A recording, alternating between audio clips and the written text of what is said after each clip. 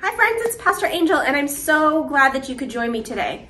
We are talking about kindness and kindness is showing others how valuable they are by how you treat them.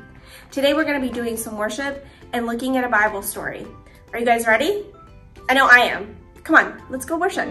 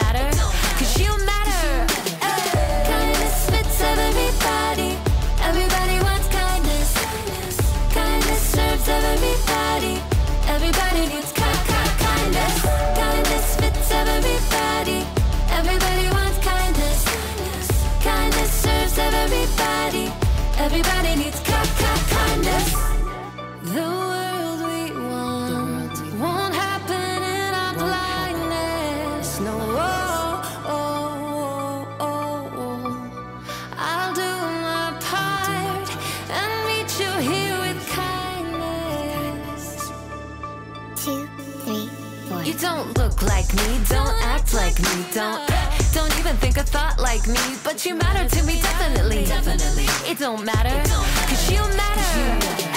Kindness fits. Everybody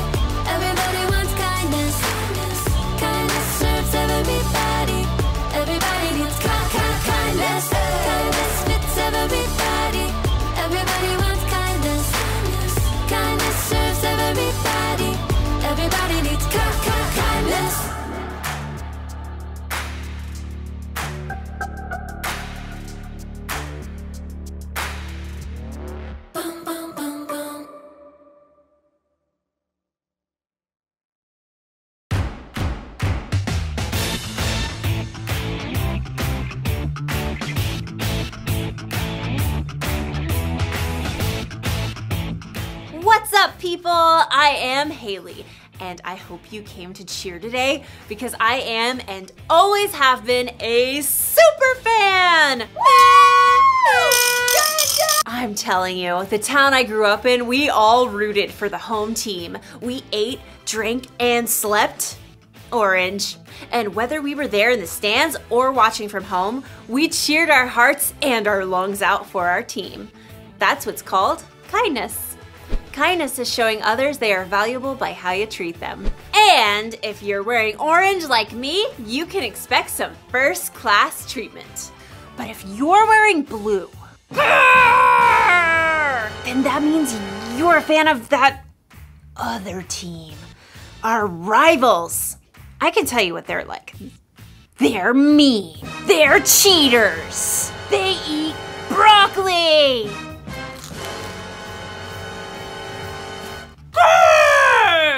They're pretty scary.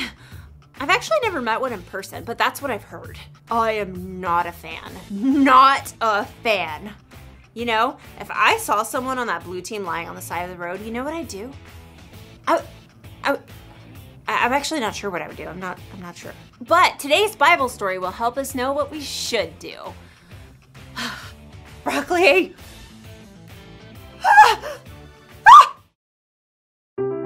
The Bible. It's 66 books of history, stories, letters, and poetry that fit together to form God's one big story. The epic adventure of how He created us and loves us so much that He made a way to rescue us. As we travel through the Bible, from Genesis to Revelation, we discover people who met God and found their lives changed forever. Now, for an amazing story, inspired by the book of Luke, chapter 10, verses 25 through 37. Everywhere Jesus went, crowds of people followed. His popularity made the religious leaders kind of nervous, how he turned their expectations upside down. What is he up to anyway? So they began to look for ways to trip him up. One day, a law expert saw his chance to test Jesus. Teacher, what must I do to inherit eternal life? Jesus turned the question right back on the law expert. What is written in the law? How do you read it? Love the Lord your God with all your heart and with all your soul and with all your strength and with all your mind. And love your neighbor as yourself.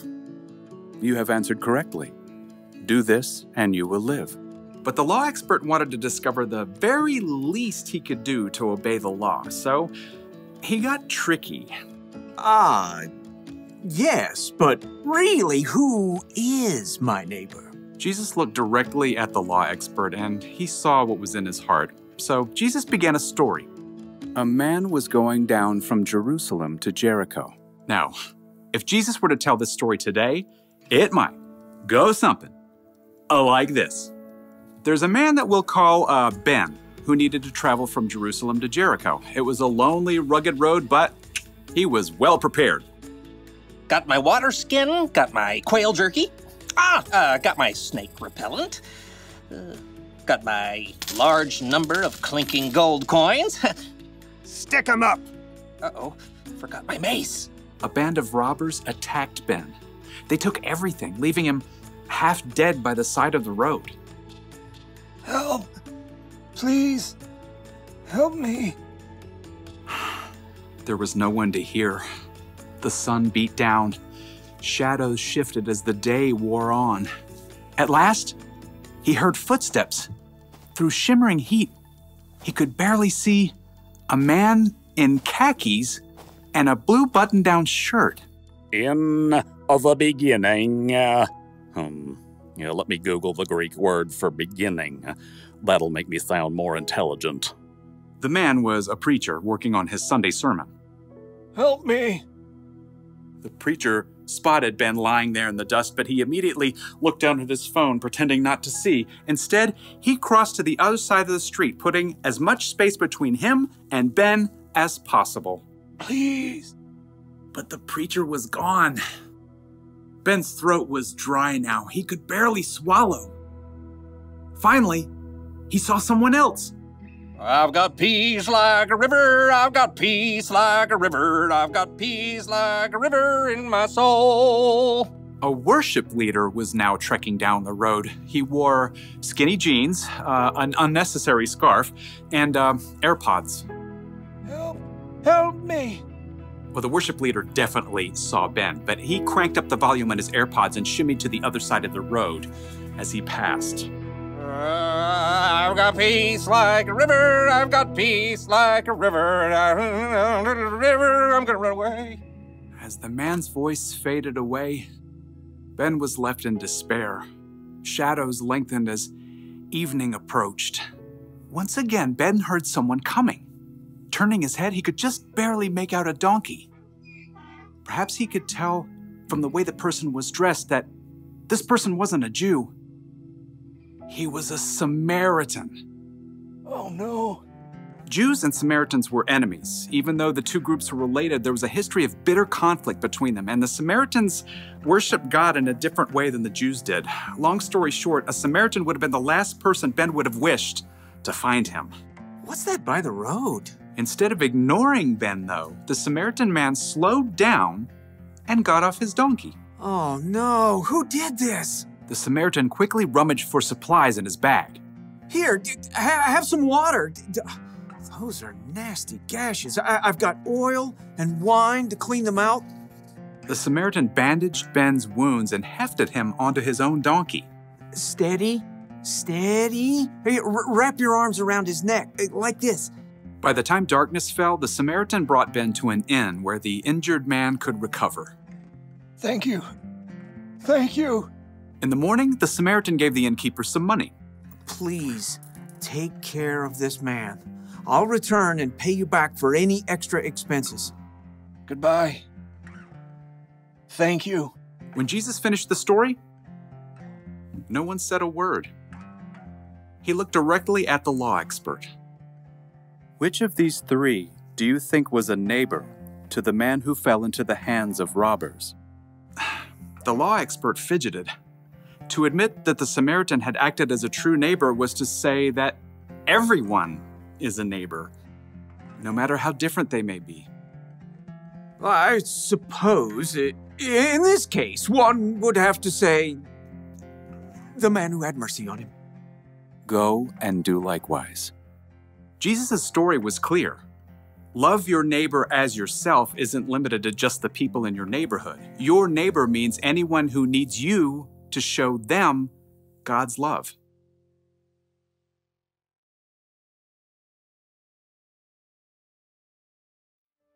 So Jesus said to love your neighbor as you love yourself. And who is your neighbor? Well, it's the person who lives next door to you, or in your apartment building, or in your neighborhood, or the town you grew up in, or your country, or your planet. In short, your neighbor is everyone. That includes people who look different from you, people who believe different from you, people who have more money than you or less money than you, everyone.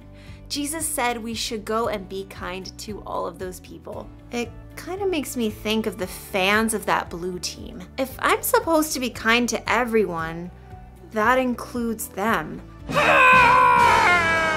But how? How can I be kind to someone who's so, so different?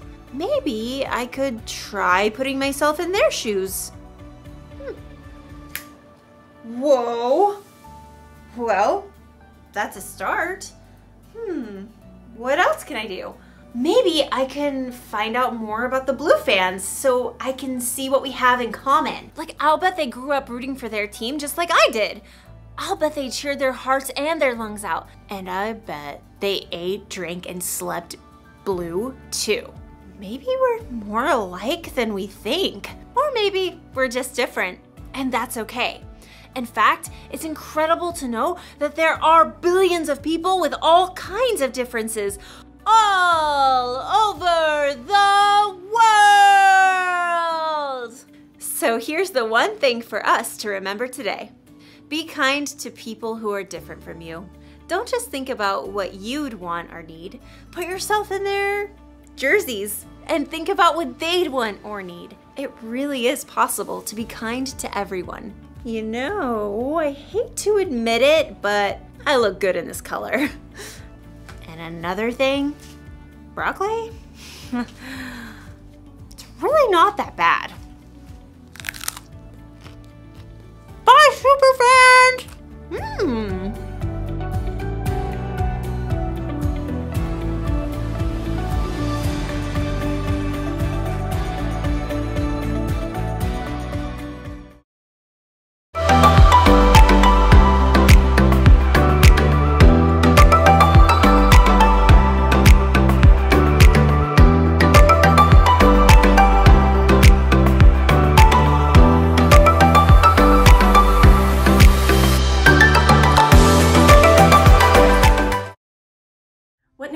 Incredible time of worship and a Bible story.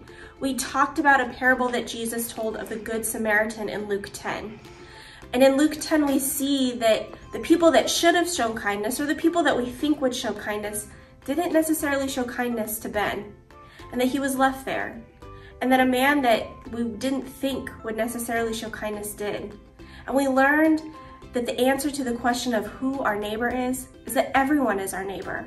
And that Jesus has asked us to love everyone like we love ourselves, and to be kind to other people when they need it the most and not turn a blind eye to what people need and show kindness.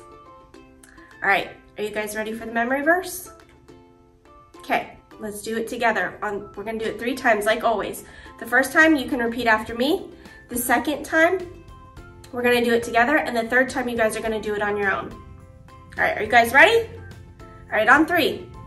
One, two, three. You are God's chosen people you are holy and dearly loved. So put on tender mercy and kindness as if they were your clothes. Don't be proud. Be gentle and patient. Colossians 3:12. All right, let's do it all together on three. One, two, three. You are God's chosen people. You are holy and dearly loved. So put on tender mercy and kindness as if they were your clothes. Don't be proud, be gentle and patient. Colossians 3 12. Good job. Now it's your guys' turn. And remember, be really, really loud, okay? On three. One, two, three.